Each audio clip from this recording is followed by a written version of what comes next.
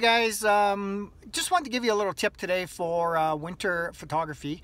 Um, while you're out driving, okay, um, I always keep the uh, the cold air on uh, once I hit my destination, and the reason being is that uh, I see a lot of people, you know, heat on trying to stay warm, but but the problem is the camera gets warm, the front element gets warm, and the minute you go outside, um, the camera's trying to adjust, especially that front element. And what happens is you're going to get a lot of soft images uh, because the glass is transitioning, right? So it was expanding indoors, and then when you go outside, it contracts. So between that process, um, you're gonna get you're gonna get soft images. So uh, I just wanted to show you guys what I'm doing here.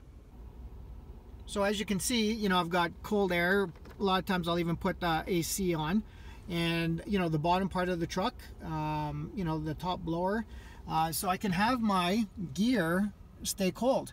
Um, like I said, the front element is the, is the critical part.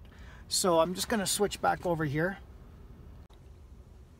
So as you can see, you know, I've got really warm clothes on. I've got, you know, boots, warm boots, that sort of thing.